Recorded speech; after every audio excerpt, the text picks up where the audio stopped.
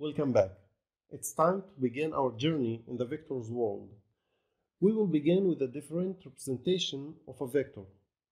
The first representation is the graphical one, a vector represented by a straight line. The start point or the tail point of the vector, let's define it as A and the end point as B. The another representation is AB. The arrow indicates the direction of the vector. It's pointing to the point B. Therefore, the direction of the vector towards point B. The length of the line represents the magnitude of the vector, which we write it as V in absolute value. Let's say that V is the vector and uh, we put it on these straight lines.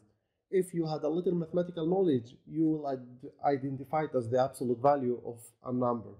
And it's always positive since it's the length of the vector. You will tell me, okay, Saleh, I understand that. But you say that the vector also has a direction. Where is it? How it's represented?